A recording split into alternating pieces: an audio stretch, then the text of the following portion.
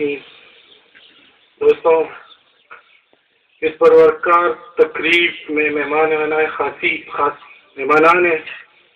खास B N T अवामी के जना secretary Mir Asadullah Baloch B N T अवामी के मरकजी लेबर सेक्रेटरी तकरी नज़र मेंगल, लाला हसन बलोच और कोयटा के तमाम साथियों और इस पंडाल में बैठे हुए तमाम जयालों को सलाम पेश करता हूँ। दोस्तों बलूचिस्तान के के साथ ज़्यादा कोई आज की नई बात नहीं।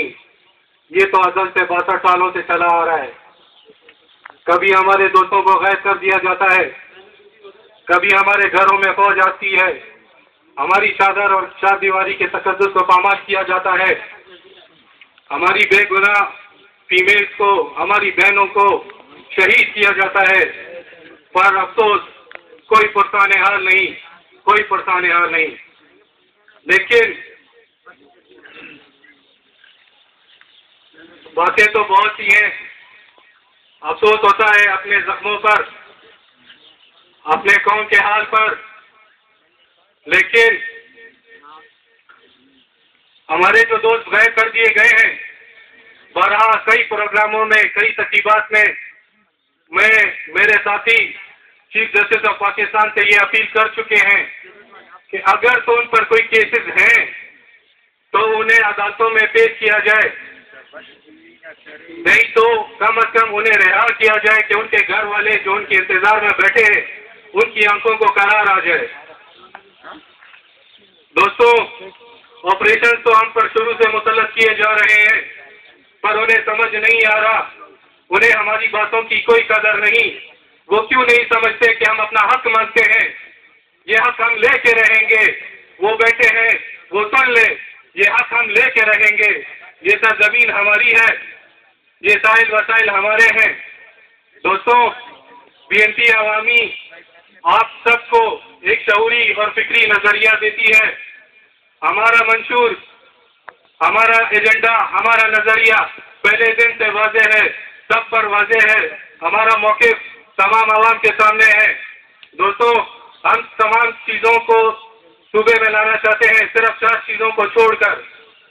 बकाया तमाम के वसायल जो हैं कंट्रोल जो है, वो सूबों को मुहैया किए जाएँ। सुबह खुद मुख्तारी हमें दी जाए। दोस्तों, इसके अलावा जो मेन चीज़ है, जो हमें खासकर बलोच कौम को, बलोचिस्तान के बाशिंदों को, जिसकी हमें सबसे ज़्यादा ज़रूरत है, वो है तालीम। तालीम के मैदान में तो बलोचिस्तान को बहुत ज़्यादा पसमानदा रखा गया है। इसका सबूत इसका सबूत दोस्तों, बलूचिस्तान यूनिवर्सिटी का निसाब है। अगर कोई इसे देख ले, या इसी में वेबसाइट पे देख ले तो बलूचिस्तान यूनिवर्सिटी में पढ़ाए जाने वाले निसाब में, पंजाब में एन डब्ल्यू एस पी में, सुबह पखनख्वा में, या सिंध में कतई तौर पर एक जैसे नहीं, एक दूसरे से डिफर करते हैं।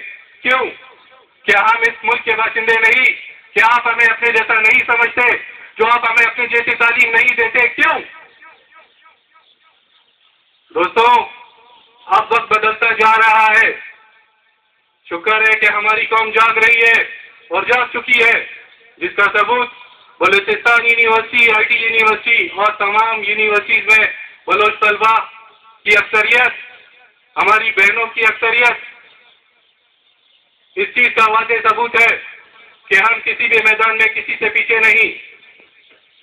दोस्तों मेरिट के नाम पर एक टोला, जो कि गरीब बलोच, गरीब पश्तून और बलोचिस्तान के गरीब आवाम के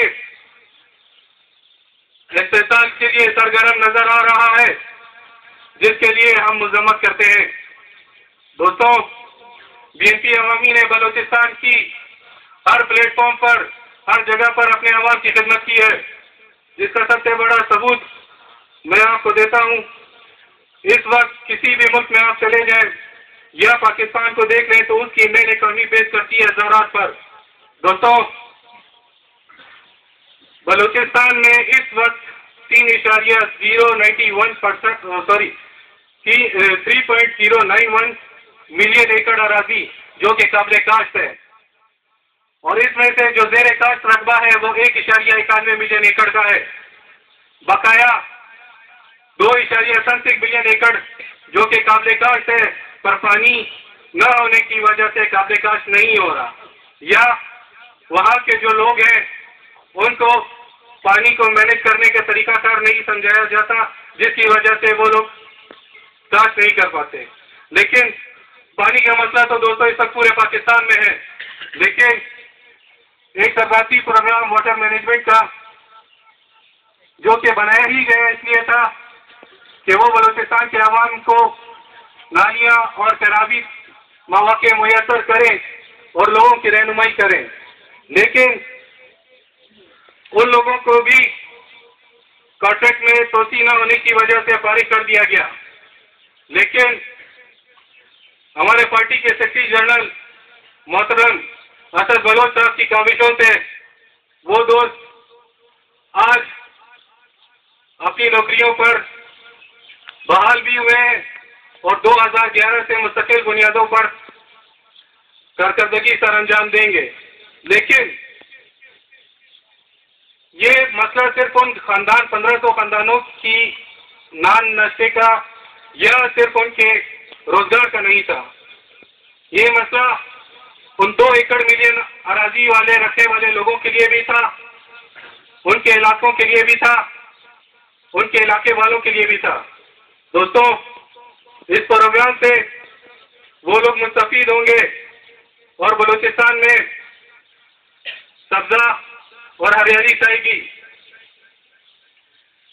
बातें तो काफ़ी हैं, लेकिन वक्त मुख्तसर होने की वजह से मैं आप सबका शुक्रिया अदा करता हूँ।